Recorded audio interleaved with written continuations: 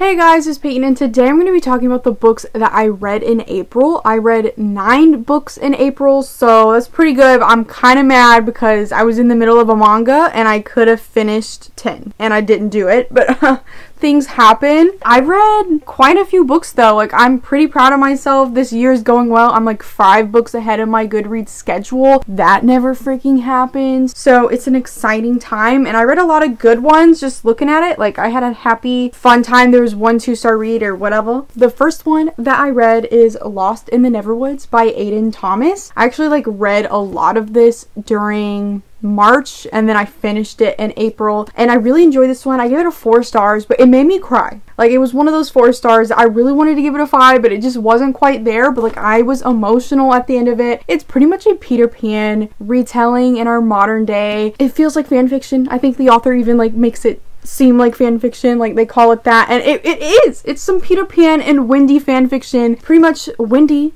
and her brothers went missing a while ago when they were little, and only she came back. And then, boom, Peter Pan is coming to town, and she keeps seeing Peter in her town, and she's like, "What's going on?" And then other kids are going missing. So similar things that happened to her as a kid are happening, and her and Peter Pan are trying to figure it out together. And he's an older version of Peter Pan because shit's going wrong. It's really cute. I end up shipping them a lot and I really enjoyed this. I think this is definitely one of those that is just a fun, happy time, even though the ending made me cry. It was a heartwarming one. I think my only real big issue with it is like the middle part of the book. It just started to drag. It felt like not a lot was happening. Oh my god, when you read this book, count how many times Peter freaking grins and smiles. Like he smiles every freaking two seconds. And I guess that's just a thing us writers do. Like I do that too. But oh my god, if you notice it, you never unnotice it during this book. He is always smiling.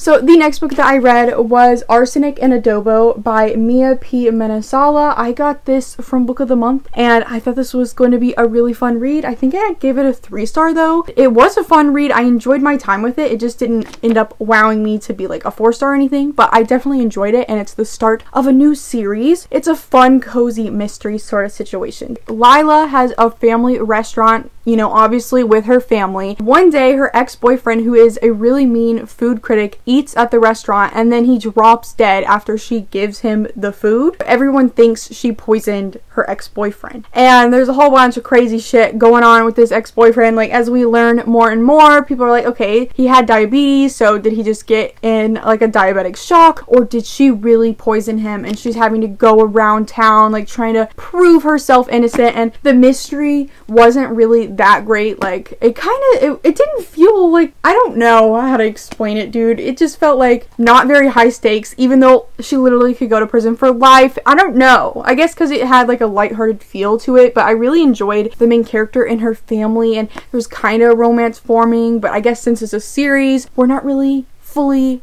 diving into that yet. I'm definitely intrigued to read further in the series. I just feel like there's more that I want to see, you know? And I guess since it's a series, that's gonna happen. The next book that I read was The Night Swim by Megan Goldin. I believe I gave this one a four stars. I listened to this one on audio. Got it from my used bookstore for pretty cheap too, so I was happy about it. This one is a hard hitting one. It is a thriller following a whole rape trial case. So definitely major trigger warnings for any sexual assault, rape, anything like that because it heavily discusses it. So I was really interested in this book though. It kind of reminded me of a Good Girl's Guide to Murder because there is a girl that is into true crime and she has a true crime podcast and in the second book of a Good Girl's Guide to Murder, the main character has a true crime podcast a true crime podcast. So I was like, ooh, this sounds similar and I'm really glad I picked it up because it was really freaking good and we like got snippets of her podcast covering this rape trial that's currently happening in this small North Carolina town.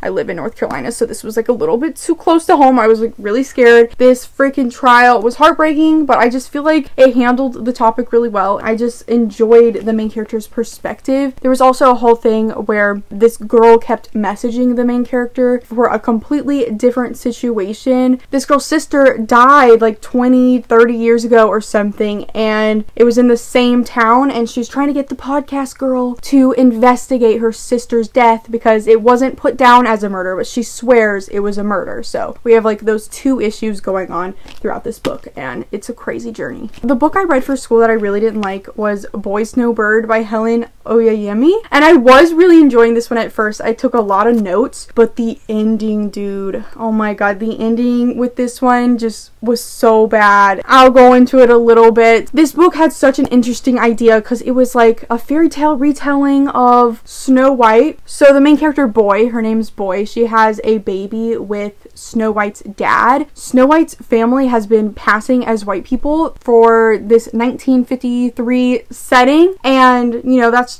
a thing that people did back then. They were really light skinned. So then the baby that they have her name is Bird. She ends up having a lot darker skin, and I really liked the conversations we were having about how the different treatment Snow White got because she had really light skin compared to Bird. She had darker skin, and the main character boy was really mad and protective of her daughter and I really liked that whole conversation that we were getting in but then the ending just completely did something so weird and completely unrelated to that there was transphobia portraying a trans character as someone who is sick and needs to be helped. You know, some people are going to try to say I just spoiled everything. I think that needs to be warned about because it is completely unrelated to the rest of the book and you know, it really sucked because this book was going places. I really liked the conversations being had and I do not understand why that ending was there because that it made no sense with the rest of the book. Unfortunately, gave it two stars because of that, because the ending was just that disappointing. The next book that I read was Finlay Donovan is Killing It by Elle Cosimano. I loved this book. I gave it five stars. It just gave me such good vibes. I listened to it on audio and then I made sure to get a physical copy of it because I just loved it that much. This one is just the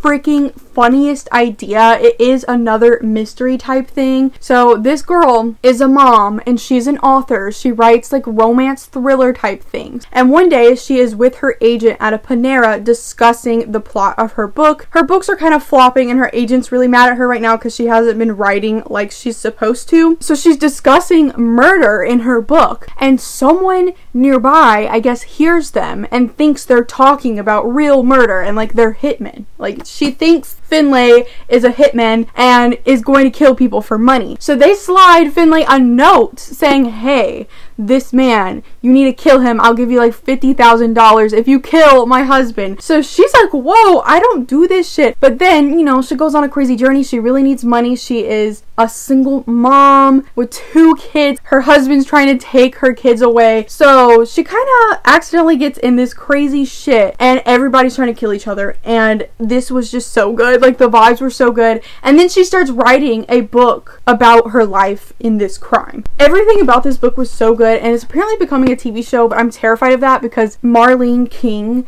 the person behind Pretty Little Liars, is trying to adapt this. And that lady ruined Pretty Little Liars so badly, so I do not trust her with anything. That might be a dumpster fire, but I think this is going to be so good. It's going to have more books, at least one more book that I've heard of, so I'm super excited to read the sequel because this book was so much fun and I highly recommend it. Another book that I read for school was this writing fiction book, a narrative craft book by Jane Burroway. I've been reading this over the last couple months for my writing fiction class. I didn't rate it. It was fine. Like it was for class and I finally finished it this month because I finished my semester, taught me some things, but most of it I already honestly kind of knew. The next thing that I read was Shadow and Bone by Leigh Bardugo and there's a bookmark in it because my boyfriend is currently reading it as well. I gave this three stars. I did a whole vlog on this talking about how it is overrated and honestly just go watch that freaking video. I did vlogs for all three of the books. I gave Siege and Storm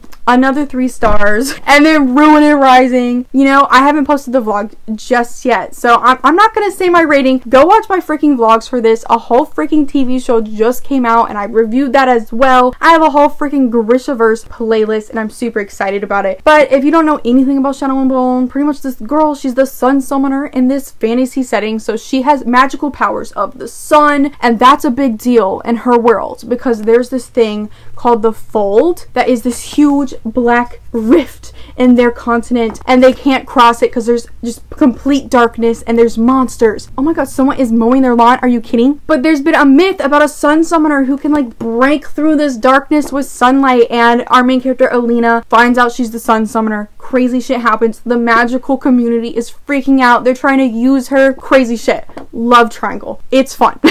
but I still think it's definitely overhyped and I think the show made it 10 times better. I'm so excited about that show and seeing it continue in the future because it was so much fun to watch. So definitely go watch all my videos for that. Links down below because this one, like, you know, it wasn't as good as everybody was saying, but I reread it after six years and you know, it's fine, but it's just nothing special to me. Siege and Storm, I think I liked it a little bit more because there was a character named Nikolai introduced, and he is so much fun, and he's actually the main character for another series by Leigh Bardugo, so I'm super excited to read that because I love that character so much.